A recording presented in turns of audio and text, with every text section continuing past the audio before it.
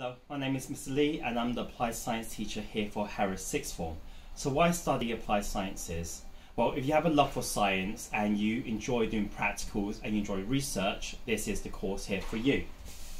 What is Applied Science made up of? It's made up of two exams, Unit 1 and 2, Fundamentals in Sciences, Laboratory Techniques, and then three coursework pieces which you will go and do in your own time as well as be taught them where can the entire course take you? It can take you to university, it can take you to apprenticeships, and it can take you to a number of different careers such as chemical engineering, pharmacy, and biochemistry.